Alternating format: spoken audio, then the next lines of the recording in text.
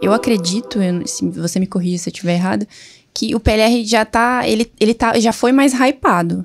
Ele ainda tá no hype, uhum. mas já foi mais hypado. E aí, cada vez mais o mercado está se sofisticando. Uhum. Então, o que, que uma pessoa precisa saber para vender PLR hoje em dia? Basicamente, se você fosse dizer assim, em, em dicas ou insights aqui pra tá. gente. Dicas importantes para quem fosse começar hoje com um PLR ou infoproduto. Primeiro, copy. Como você mesma disse agora, o nível de sofisticação de mercado já está super avançado. Uhum. Por que super avançado? Devido ao número de pessoas que fazem anúncios para as suas ofertas.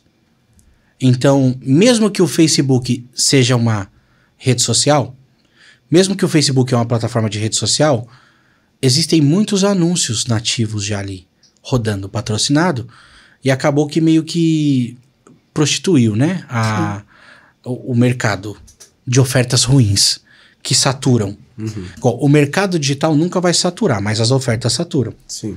Então, o nível de sofisticação veio para profissionalizar as ofertas. Então, o primeiro ponto para você que vai começar no digital é entender um pouco de oferta. Copy.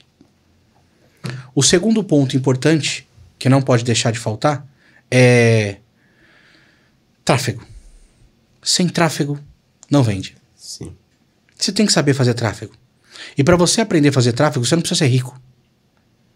Se você tem seis reais por dia para gastar no Facebook, uma coxinha que eu vendia lá, Sim. há, sei lá, 20 anos atrás, você consegue aprender tráfego com seis reais por dia. Se você tem seis reais, consegue comprar dados. Consegue comprar dados. Exatamente. Esse detalhe, é... hein? Dados é o que gera equity numa empresa que vale bilhão. É. Tudo é sobre dado. Tudo é sobre dado. Então, você consegue comprar dados com 6 reais. Vai se especializando aos poucos em tráfego. Então, domine tráfego.